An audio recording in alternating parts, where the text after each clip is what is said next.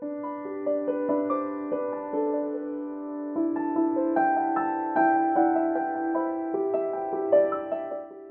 hands would stay on her stomach, like she'd be the like this all the time. Wow. Yeah. And then she came in for that first session and had that really gross poop afterwards, mm-hmm. and constipation just went away.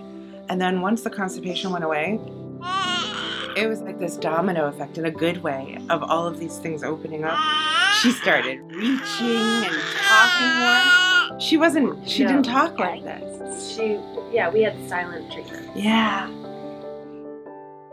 The first message that came through from wherever was, I'm fine. Yeah. There was a bit of relief as much as you were like still skeptical about just coming in here and like, who's this crazy lady?